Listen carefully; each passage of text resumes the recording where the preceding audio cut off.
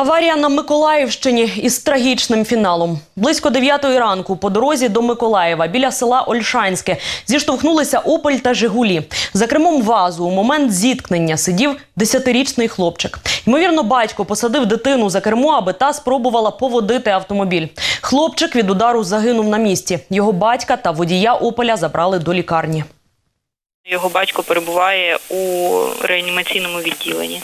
Поки що все встановлюється. Відомості про ДТП внесені до єдиного реєстру досудових розслідувань за ознаками частини 2 статті 286 Кримінального кодексу України. Це порушення правил безпеки дорожнього руху або експлуатації транспорту особами, які керують транспортними засобами.